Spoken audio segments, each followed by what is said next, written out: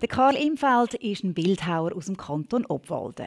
Er möchte einfachen Formen einen starken Inhalt geben.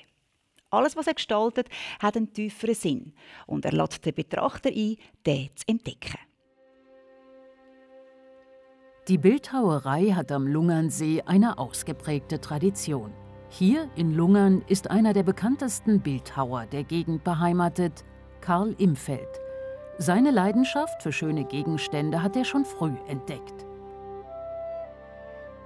Ich habe immer gerne gezeichnet und das ist das liebste Fach in der Schule. Zeichnen, Malen.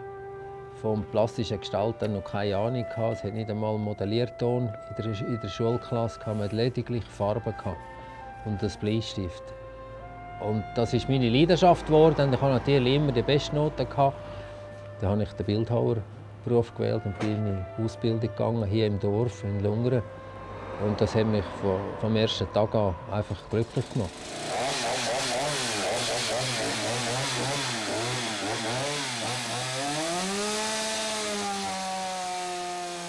Ich habe gewusst, ich muss diesen Beruf lernen, ich muss das Handwerk lernen. Und ich habe gewusst, keinen Tag länger werde ich irgendwo im Anstellungsverhältnis sein. Ich habe mich sofort selbstständig gemacht. Ich war knapp 20 gewesen. Nach seiner Ausbildung möchte Karl Imfeld noch eine Kunstakademie besuchen und wird in fünf Städten vorstellig.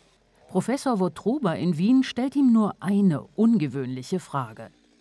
Ja, was wollen Sie jetzt da bei mir? Ich sehe doch schon mindestens 23 Jahre alt. Und dann habe ich gesagt, nein, ich bin knapp 20. Ja, gut, wenn Sie wollen, dann kommen Sie.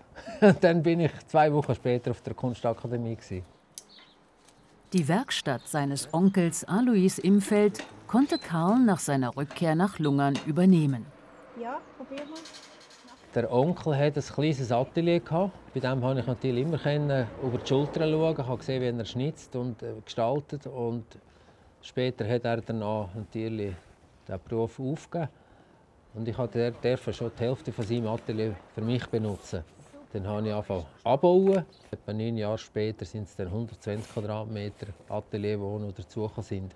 Das ist für mich eine Oase geworden. Ich hatte Freiraum, ich konnte mich entfalten. So für ganz grosse Skulpturen.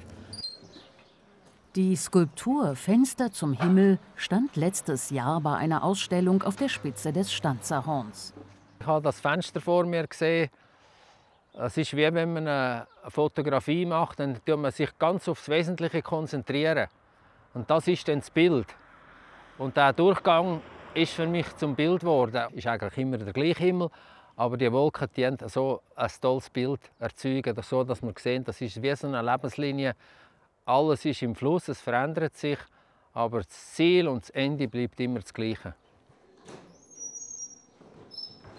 Neben Skulpturen entwickelt Karl Imfeld auch besondere Möbelstücke, darunter den Imfeld Kubi, aus dem Tische und Regalsysteme mit verschiedenen Materialien und Größen entstehen. Mir hat die Dynamik gefällt und ich habe gefunden, als Bildhauer und Formengestalter, das muss irgendeine Möglichkeit geben, dass der Kubus einfach dynamisch wird. Und da habe ich das ganze Modell diagonal oben geschnitten. Und dann war mein Sohn auch noch dabei. Und dann habe ich ihm gesagt, gib mir schnell äh, die andere Hälfte, dann wir zusammensetzen. Und dann kommt er mit der anderen Hälfte und stellt sie so her. Und denke ich, was ist jetzt da passiert? Und dann ist der Imfeldkubi entstanden. Und da gibt es eine totale Verdrehung. Das ist die hier.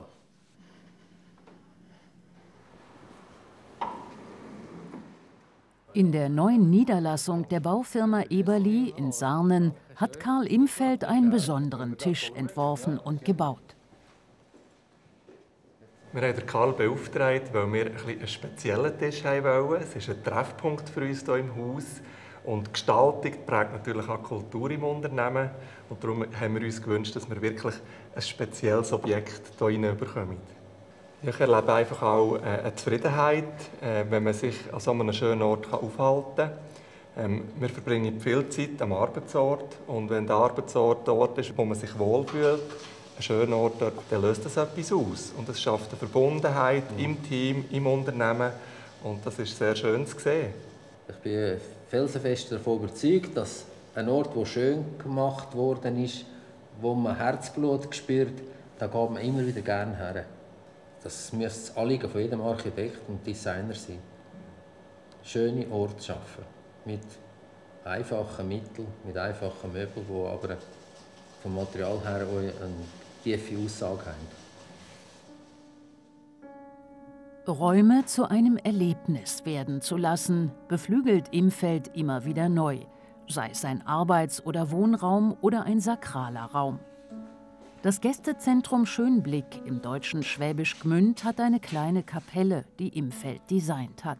Ich bin eingeladen worden, für den Raum der Stille eine Idee zu entwickeln, wie der Raum könnte gestaltet werden so dass eben der Lichteinfall von oben in dem, durch den Konus, äh, wo danach der ganze Raum ausleuchtet, auch in einem schönen Zusammenhang steht mit der Inneneinrichtung. Und das ist äh, für mich ausschlaggebend dass das Licht den Raum bestimmt und danach ist das Licht, das senkrecht in den Raum hineinfällt, das hat mir die Inspiration gegeben, ein komplett Konzept zu machen, inklusive äh, Sitzbank.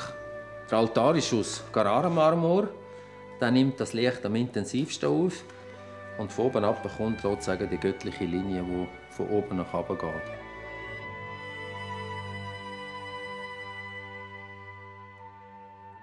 Ich habe eigentlich nie Zweifel daran, dass es Gott gibt. Aber ich habe nicht gewusst, was muss ich tun, dass ich dann wieder zu Gott zurückkomme. Und dann, ja, dann hatte ich schlaflose Nächte. Und dann habe ich durch die Diskussion mit dem Bruder, der das Erlebnis schon hatte, zuerst mal dann wirklich im Evangelium verlesen.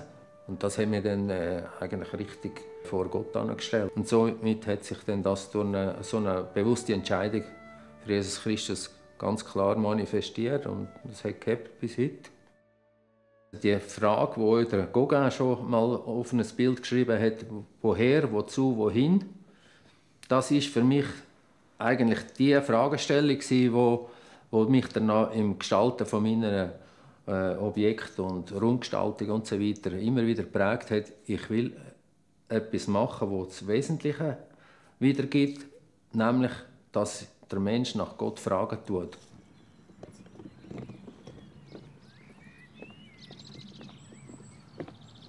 Mich hat immer die Balance interessiert. Die Freiheit, die wir haben.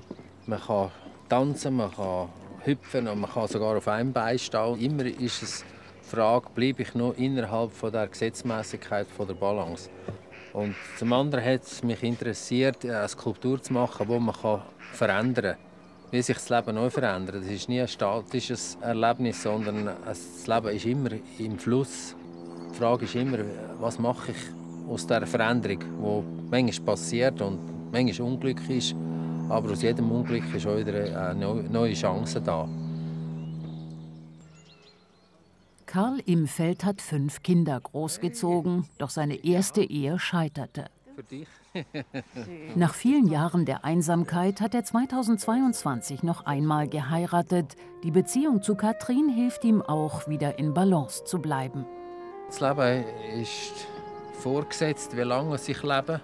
Und darum hat es mich interessiert, wo gehe ich her, was muss ich tun oder was kann ich tun, dass ich wieder zurückkomme zum Schöpfer. Der, der mich gemacht hat, hat einen Plan für mich und er weiß, was das Gute ist für, für mich.